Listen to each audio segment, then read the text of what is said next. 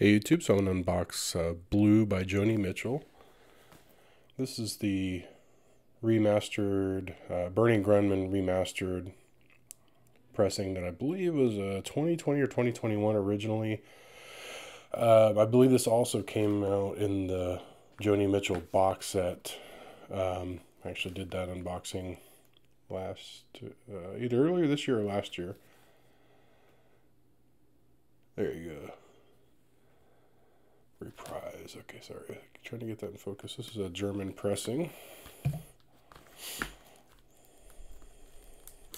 I've noticed they're they've got a handful of these popping up, so I think they're starting to release these Joni Mitchells because those remastered you could only get in that box set up until this point. Let's get a better look at the. Just got the spine there.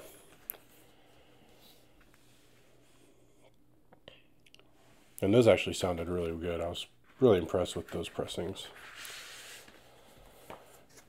So you've got the blue inner sleeve. And then the anti-static inner sleeve. I kind of always, I like when they do that. It's just a nice touch. You don't have to go out and get another one. There's side one with the Reprise Records label and uh, side two.